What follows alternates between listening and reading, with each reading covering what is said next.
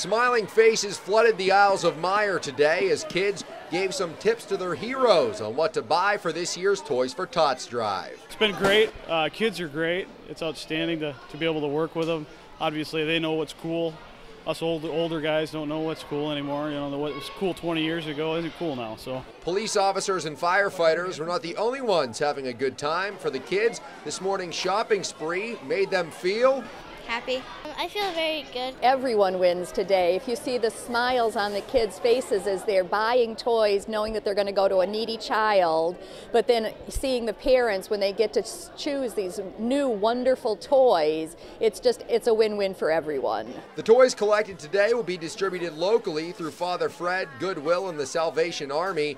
Gifts from the heart, bringing out the best in our community. This is what it's about, giving back to the community and focusing on helping the community. We really are lucky to be in this community where we are so blessed by such support and wealth and generosity. In Traverse City, I'm Brody O'Connell, 7 and 4 News.